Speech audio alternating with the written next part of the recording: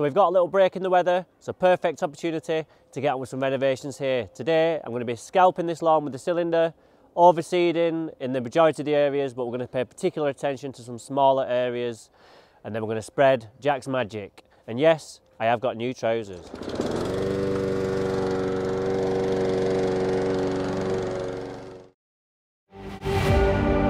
Throughout history, men have always been drawn to grass. Whether it be in the park, a sports ground, or simply in your own garden.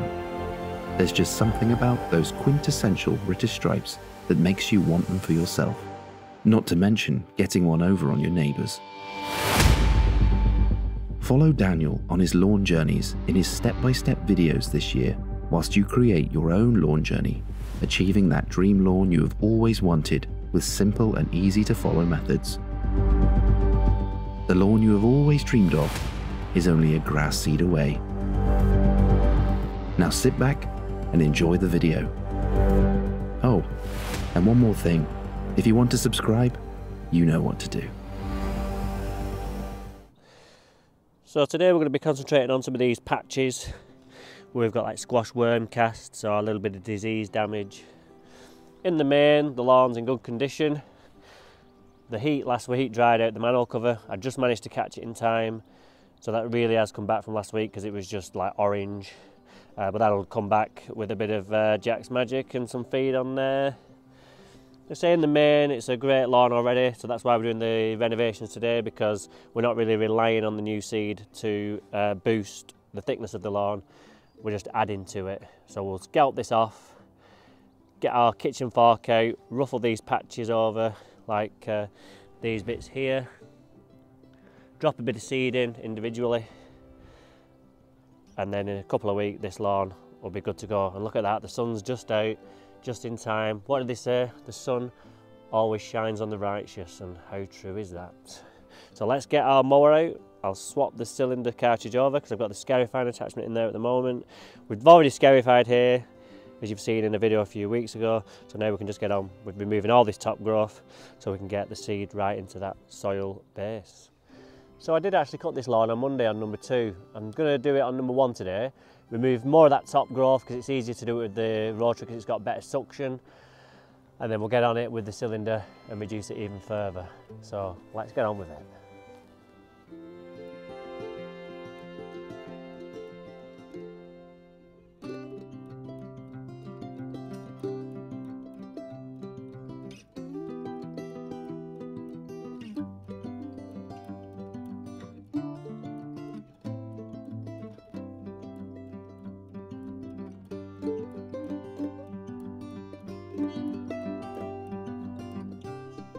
So that was quite hard work for that mower actually. It uh, was struggling to get through that at parts because it was quite long. So even though we've cut it on one, we've still got uh, quite a lot of growth which we can get off. So I want to scalp that even more.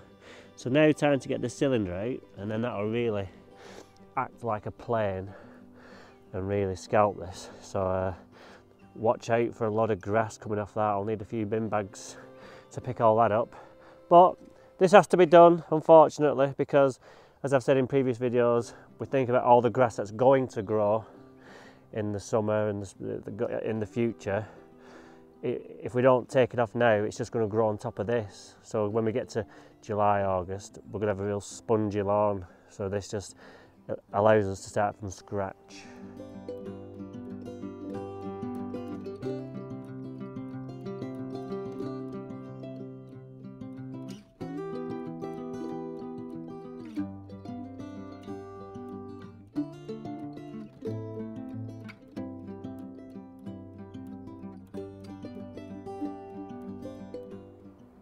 Oh my god, what have I done? It was fine, wasn't it? But now I've gone and done this. But look how short we are eh? now. So all those crowns will just regenerate with nice new fresh growth. And then we can keep it this short because we're not losing control of that length like is what I've mentioned before. So even though it looks an absolute mess, this is what has to be done and we know it comes back because I've done it before, so it's just all experience. So if it is your first time, don't worry, it will come back. Nature's good in that respect. So now I've got this done, I'm just debating whether to whip over it with the Scarifier one more time, just to create some grooves, um, so the seed can fall in and uh, give us a better, get a better coverage. But we'll make a decision in a sec because I don't really. The thing is, once you've scarified again, and then you have to go over again with the mower to pick up what comes out, you end up negating what you've just done because the mower then closes up the channels. So if we can get on it with the Scarifier and it doesn't really bring anything up, we could do it. Um, so I'll make that decision in a sec and you will find out shortly what decision I've made. So I'll go and uh, have a play with it and uh, see what happens. Right, so you can just see I've done a little area there. I've, i need to come back and get closer to the edge, but there's not much coming out and the, what is coming out I can either just get the blower out and blow it off or get the rake out and rake it up. So I think I'll carry on and I'll get that done and then we'll blow it um, and then we'll, we'll blow it onto the road and then we'll sweep it up. I think that's the best way forward. So I'll just uh, come back and do a better job on that left corner and then uh, see all the grooves we've got there which the seed can fall into then and that'll give us a better uh, germination rate and uh, just be better all round. So let's crack on.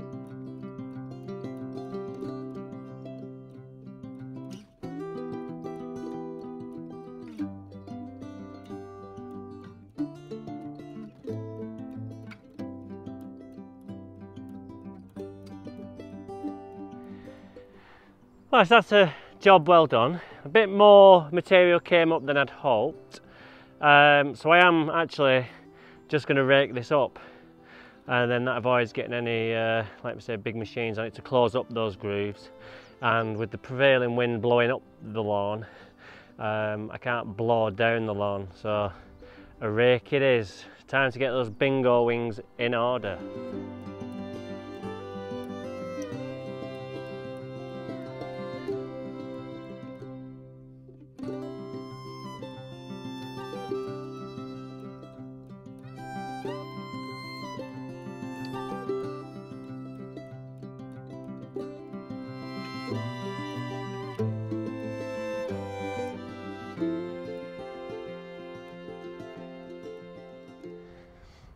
Right, so that looks a hell of a lot better, I must admit.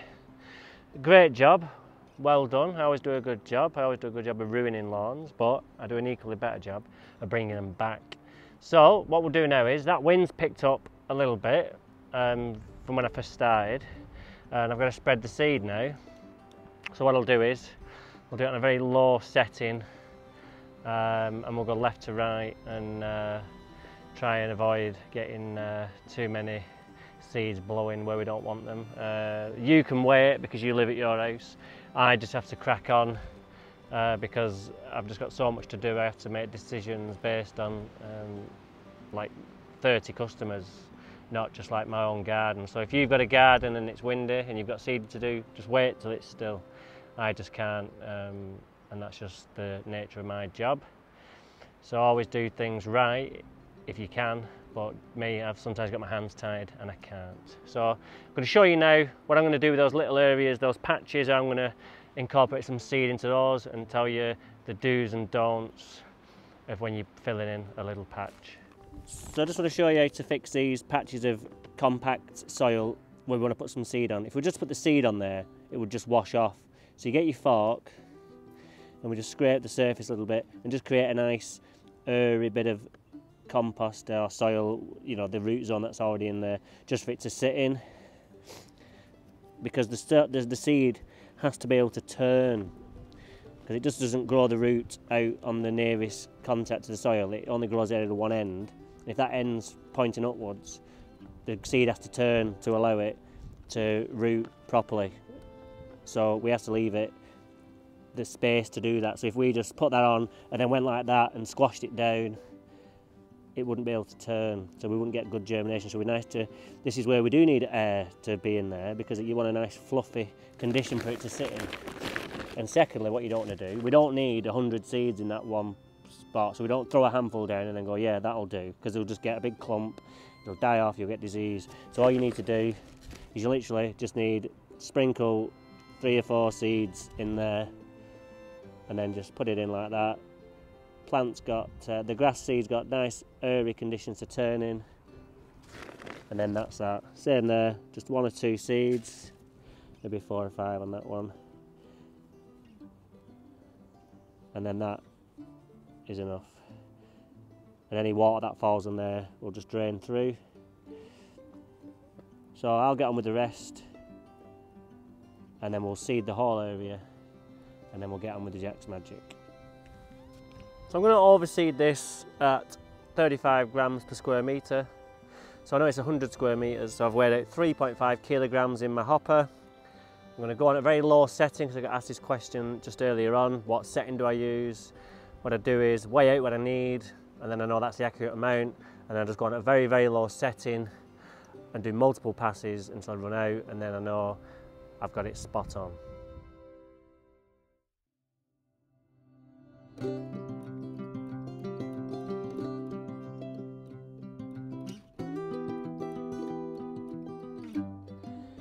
Right, so that went on pretty well. Took me two passes, uh, one up, then one across, and then I just finished off with what I had left, just in the spreader, just walking up and down. I'm not going to feed this today or anything like that. There's enough feed in there from the Rise and Shine to give us what we need, and then there's fertiliser in the um, Jack's Magic. And then once that seed comes through, we can get with some Sow Pro, and then the Equilibrium, because that'll be in by then. And then in two or three weeks, this lawn will be looking something like. I like to set a Mayday target for these jobs and then we know we, uh, we, we give us a deadline and then we know we have to uh, come through as if we just said oh when it will be when it will be. It just uh, it, we just get a bit lapped and but I know if I say to customer it's going to be first to mate it's going to be right I know I've got to come down every day and water it. Um, so it just gives me a bit of discipline. And gives the customer something to look forward to uh, and for them to crack the whip which they need to do sometimes. So I'm going to uh, set up with Jack's Magic now.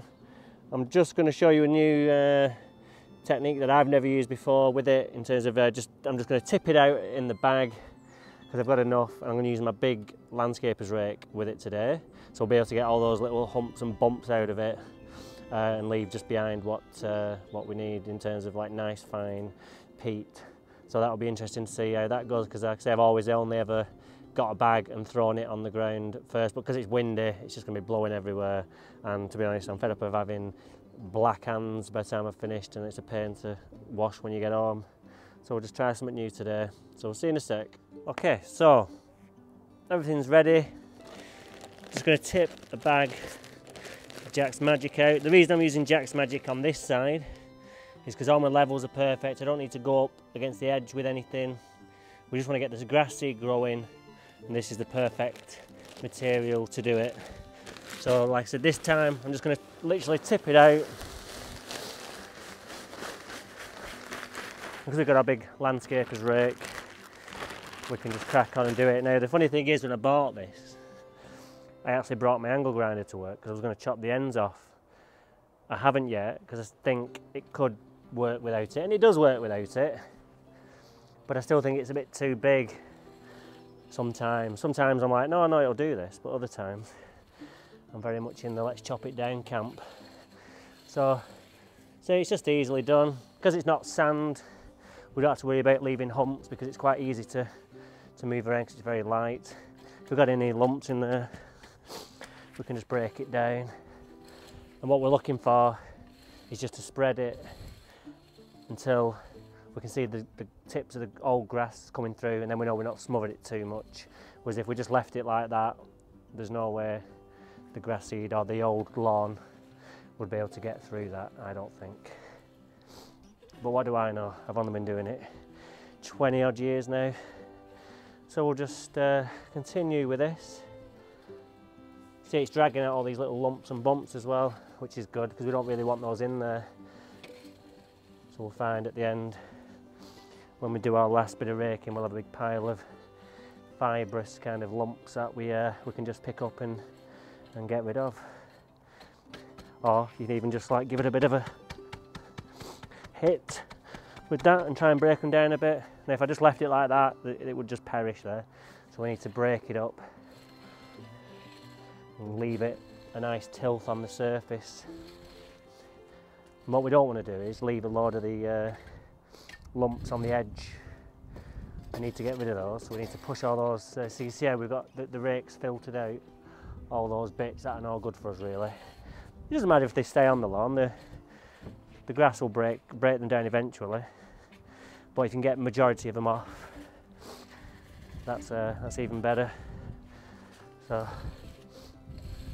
sun's out now, it's a bit windy, fed up with the winds. I think uh, they come in the winds at this time just to blow any residual leaves off the trees. And if you have beech hedges this time of year they're still covered in the dead leaves from last year. And I think it just comes in just to clear those off. And then once they're gone it just calms down then. But it does annoy me at this time of year these high winds because you just can't get on with anything especially spraying because what I would have liked to have done today was sprayed some Steller Bio Boost just before we put this on, but it's not to be. So you can see, got a lot of fibrous stuff here. I'll just keep spreading that out. It's almost like a riddle. And what I'll do is I'll just pile them up over here.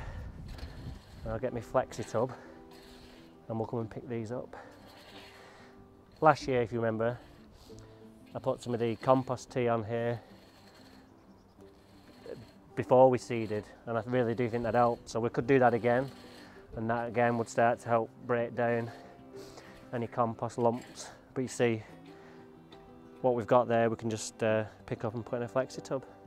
So one bag there just so you if you ask how far does a bag go let's just kind of pace it out one two three one two three almost like one bag will do if you're just leaving it on a nice tilth on the surface so you can see the grass coming through.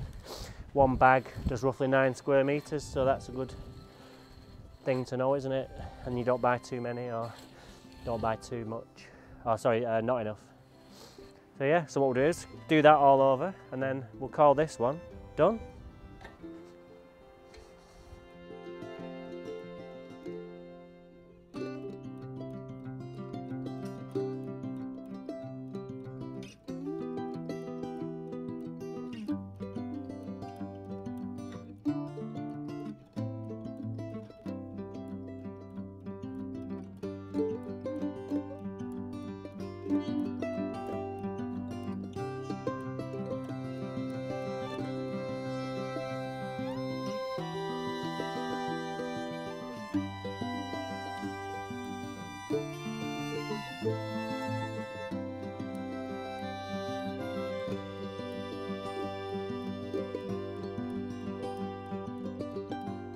So that's another one chalked off the list. Easy, nothing I did that you can't do at home. All you need is a rake, compost seed and a lawnmower and a Scarifier if you've got one. So that's all for today. All I need to do now is water, but it's going to be raining for the next few days still, so that's going to do some of the work for me. No sprinklers, especially if you're on a hill like here because the seed and the compost will just wash away. But if you don't listen, and it does happen, please do come back and tell me because one of the things I love in life is a great I told you so. So until we meet again, take care and I'll see you soon.